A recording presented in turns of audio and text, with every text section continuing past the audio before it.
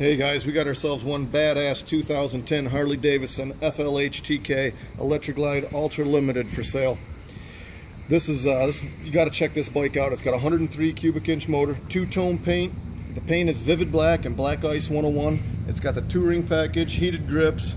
This bike's been unmolested. There's no modifications. It's bone stock. It's uh, limited. It's to turn some heads. We got this bike priced at $16,499. I know book on it's upwards of $20,000, so she's priced to move. Visit our website, approvalpowersports.com, to view the over 400 plus used bikes we have for sale.